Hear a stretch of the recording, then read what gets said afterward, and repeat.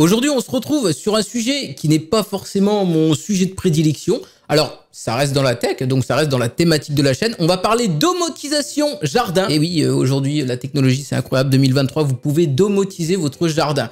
Mais le truc, c'est qu'aujourd'hui, tout est domotisable. L'intérieur, l'extérieur, euh, les robots vont dominer le monde, les mecs, je vous le dis. C'est un truc de fou, on est remplaçable dans tous les domaines. Eh bien, sachez qu'aujourd'hui, avec les produits Rainpoint, vous êtes également remplaçable dans votre jardin. Aussi fou que ça puisse le paraître, c'est eux qui vont arroser votre jardin. Vous n'aurez même plus besoin de vous en soucier, même si vous êtes parti à l'autre bout du monde. En tout cas, j'espère que vous allez tous et toutes très bien et bienvenue aujourd'hui pour cette nouvelle vidéo. On va parler de deux produits. Alors, le Rainpoint ici, donc euh, c'est un espèce de, comment qu'on pourrait appeler ça, un, un dispatcher euh, d'eau, c'est un espèce de thé que vous allez pouvoir brancher sur votre robinet et vous allez pouvoir choisir à quelle sortie il va prendre. Donc ça, c'est plutôt cool. Mais celui-ci sera raccordé à une sorte de hub, une station météo qui est juste ici entre mes mains. Alors ça, par contre, ce genre d'appareil, j'adore ça. J'en ai dans le salon, j'en ai dans le bureau, j'en ai dans les chambres j'en ai de partout. En réalité, j'ai plutôt une station dans le salon et dans le reste des pièces, j'ai plutôt des petites choses comme ça qui sont connectées. Comme vous le voyez, il fait relativement chaud dans le bureau. 27 degrés 5 à l'heure actuelle. 45 degrés d'humidité, 45% d'humidité. En même temps, ça m'étonnerait même pas qu'il fasse 45 degrés, je vous assure, ça fait tellement chaud ici. Donc en fait, ici, on a le pack basique de Rainpoint, c'est-à-dire le Rainpoint Smart Plus, qui est celui-ci, et le Garden Watering System 2 Zone, avec mon accent anglais bien pourri, qui est celui-ci. Ces deux-là vont pouvoir communiquer ensemble grâce à l'application HomeGar, qui est le diminutif de Home Garden. Je l'ai super bien prononcé celui-là. Et en fin de compte, l'application qui est juste ici va servir de passerelle entre les deux appareils. Et donc, tout le cœur de la planification se trouve bien sûr dans l'application avec laquelle vous allez pouvoir envoyer des informations dans le hub, donc dans la station météo, et également dans le système 2 Zone. Dans un premier temps, on va se plonger un petit peu plus sur la station météo on va bien sûr faire l'unboxing des deux appareils. On va recevoir deux paquets comme vous pouvez le constater. Dans le premier, on va retrouver la station météo. Alors pas de panique, hein. vous pouvez voir que l'écran a l'air rayé et tout, mais en fait, si vous voulez, il y a un film plastique dessus. Et une fois que vous l'avez retiré, vous pouvez vous apercevoir qu'il n'y a plus du tout aucune rayure sur l'écran. Alors il y a juste une espèce de poussière qui s'est mise ici, à l'intérieur entre l'écran et euh, je ne sais pas vraiment par où elle est passée, mais elle a réussi à s'infiltrer. C'était certainement inévitable. On va retrouver bien sûr son chargeur, puisque comme vous pourrez le voir derrière, vous avez le choix entre deux alimentations.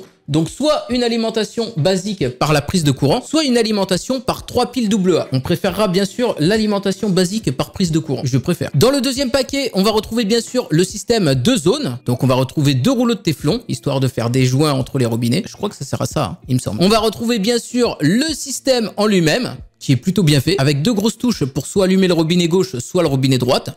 Donc vous pourrez bien sûr appuyer sur ces touches pour le faire manuellement, mais vous pourrez tout régler à partir de l'application. On va retrouver un petit peu de notice. Alors la notice intégralement en anglais, ça par contre c'est un petit peu dommage. Alors pour ce qui est de l'alimentation du système de zone, par contre ici on n'aura pas le choix, ça marchera forcément avec des piles. Donc il en faudra 4, 4 piles AA. De préférence on choisira des piles rechargeables, c'est toujours mieux pour la planète, ainsi que pour votre porte-monnaie. On va bien sûr revenir dans quelques instants sur ce système de zone, mais avant, comme je vous l'ai dit, je voulais faire un petit peu le tour avec vous sur cette station météo, ce hub central. Alors ce qui est un tout petit peu dommage, c'est que l'écran va rester en Alors en anglais, je vous rassure, il y a quasi trois fois rien à comprendre. Hein. Today c'est aujourd'hui, indoor c'est l'intérieur, out c'est l'extérieur. C'est tout. Il n'y a pas grand chose à traduire sur l'appareil. Donc vous pourrez vous apercevoir qu'on a la météo, la météo par petits dessins.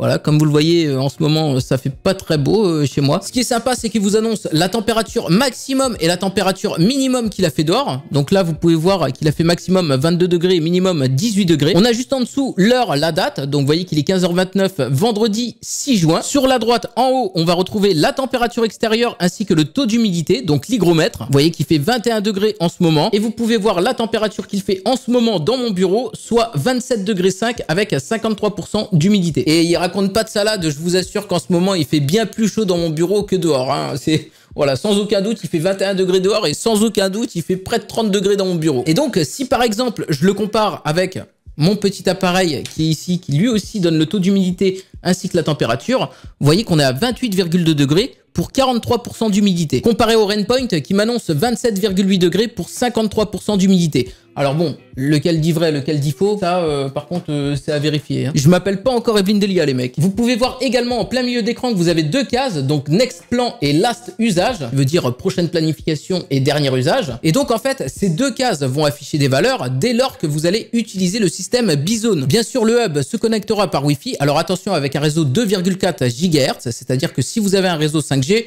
faudra le scinder en deux via votre Livebox. Votre Livebox, ou enfin votre box, quoi. Je dis ça parce que je suis chez Orange. D'ailleurs, c'est de la merde, Orange. Je vais changer bientôt petit tacle au passage là. c'est gratuit. Donc, faudra vraiment venir scinder votre réseau en deux si vous avez un réseau 5G. Si vous ne savez pas vous y prendre, vous appelez votre fournisseur et normalement, il va vous donner la marche à suivre. C'est vrai que ça peut paraître un petit peu compliqué quand on ne connaît pas ces choses-là. Vous avez bien sûr sur le dessus un bouton Wi-Fi. Vous avez un bouton zone et un bouton sensor pour pouvoir par exemple connecter un autre appareil au hub. Maintenant, je vous propose un petit peu de faire le tour de l'application puisque vraiment, c'est là le cœur de l'appareil. Hein. C'est ça qui va faire fonctionner tout ça ensemble. Et donc, l'application, comme je vous l'ai dit, c'est HomeGar que vous pourrez télécharger sous Android ou iOS. Alors la mienne est déjà configurée, vous pouvez voir que vous avez la température qui s'affiche en degrés, vous avez le taux de pourcentage d'humidité et tout le cœur du système, comme je vous le dis, se trouve un petit peu via l'application avec le système de zone. Donc c'est grâce à l'application que vous allez pouvoir planifier des arrosages. Est-ce que si je vous le mets là, voilà, vous pourrez peut-être le voir. Là par exemple, je lui dis de démarrer l'irrigation pendant genre une minute, je confirme. Et donc là, normalement, hop, alors je lui ai dit de le faire sur la vanne droite, mais je peux lui dire de le faire sur la vanne gauche, sur les deux vannes. Voilà, là, bon, je vais l'arrêter, par exemple. Hop, confirme, j'arrête. Donc là, il va arrêter, euh, il va arrêter de produire de l'eau. Si je veux, pareil, je lui dis avec la vanne gauche, hein, je lui dis par exemple de partir en irrigation pendant 10 minutes. Je confirme.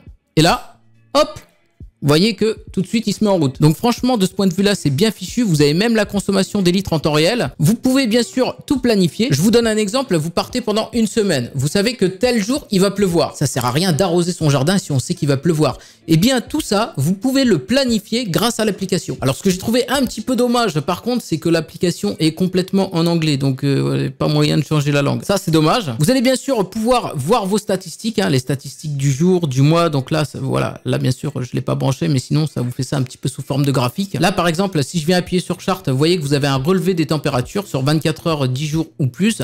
Alors là, bien sûr, il n'y a pas grand chose parce que bon, je l'avais coupé, mais vous allez avoir la, température, le taux d'humidité, euh, la pression atmosphérique. Une fois que vous allez lancer l'arrosage par rapport à votre système Bizone, par exemple, là je le confirme, voilà, hop, pendant 10 minutes, normalement derrière, hop, vous voyez qu'il se met en route. En fait, les informations vont venir s'afficher directement sur le hub.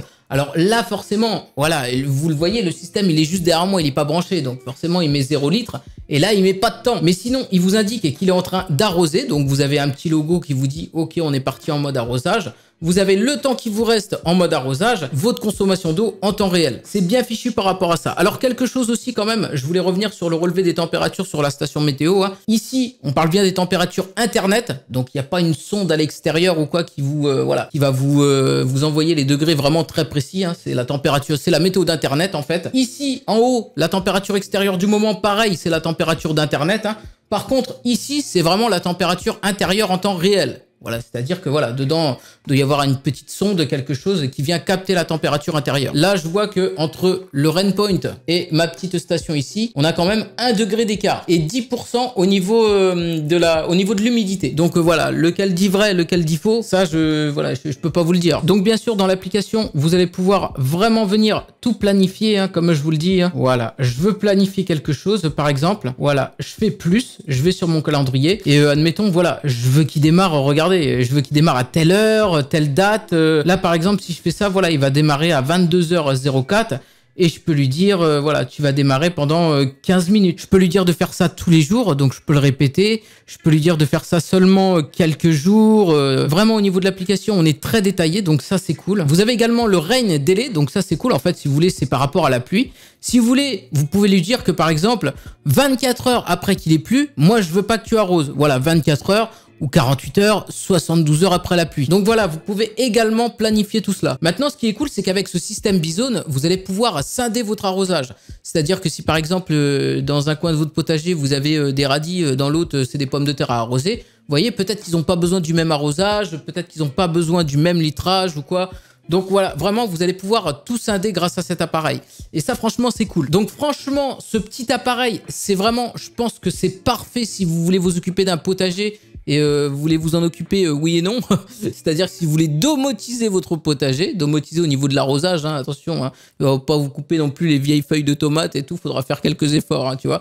Mais voilà, ça peut être pas mal pour le potager. Ça peut être vraiment très bien si vous êtes agriculteur que vous vous occupez d'un champ pour pouvoir euh, par exemple lancer des arrosages automatiques à telle heure ou quoi. Si par exemple vous avez du bétail, des, animaux à brevet ou quoi, et eh ben ça peut également servir. Eh ben oui, tu dis tiens, donne de l'eau à telle heure à la marguerite et puis euh, Rosaline elle en aura pas à telle heure mais elle en aura plutôt après. Et ben voilà, vous pouvez tout planifier grâce à ça. Donc franchement, c'est cool, vraiment. Pour moi, c'est quelque chose qui peut servir aux particuliers comme aux professionnels. Alors là, par exemple, vous voyez, à mettre mes gros doigts partout, je lui ai lancé une planification, comme vous pouvez le voir.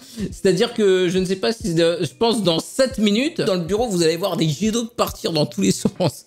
non, ça va, il est pas branché, heureusement. Heureusement. Donc vraiment, les produits Rainpoint, je connaissais pas. C'est parfait pour pouvoir domotiser votre jardin, comme je vous dis, hein, domotiser un petit peu votre exploitation agricole ou quoi domotiser un petit peu tout ce que vous voulez si ça concerne les plantes, la nature et l'abreuvage du bétail, bien évidemment. Et eh bien voilà, écoutez, si tout cela vous intéresse, je vous mets bien sûr des liens dans la description, comme d'hab.